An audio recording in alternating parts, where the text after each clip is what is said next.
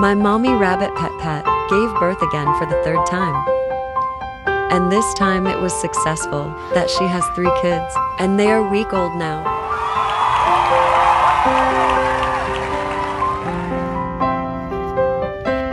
And if you're into rabbits, I'd suggest you watch Dennis Duke Uganda.